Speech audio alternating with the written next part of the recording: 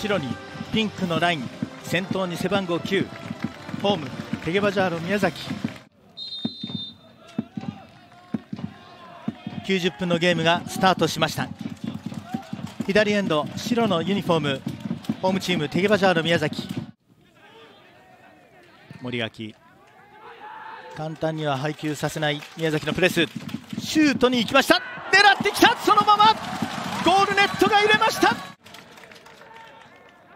開始早々前半4分のプレー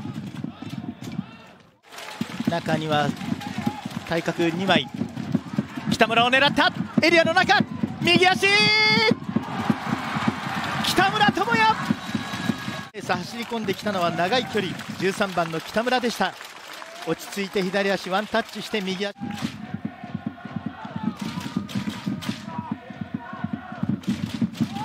デザインしてきた。ここでグラウンダーゴールの正面だ。1点を返しました。吉田真希と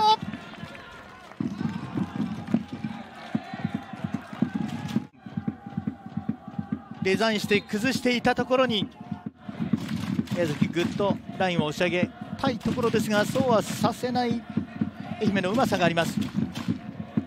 スルーパス抜けてきた。フラッグ上がらない。グラウンダー。マイナスのクロスだ。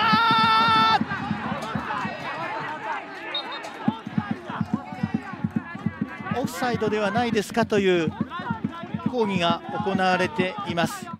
もう一度外から中へ。佐藤クロスボールヘディング同点。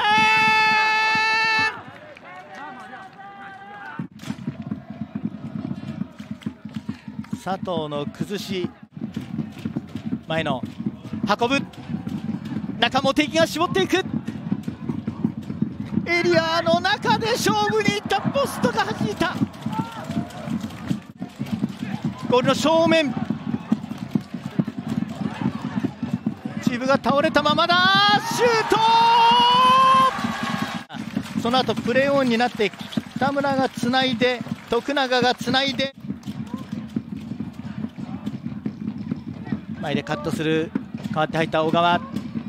クロスが入ってくる。シュート。体を伸ばして背番号48行くともの96分。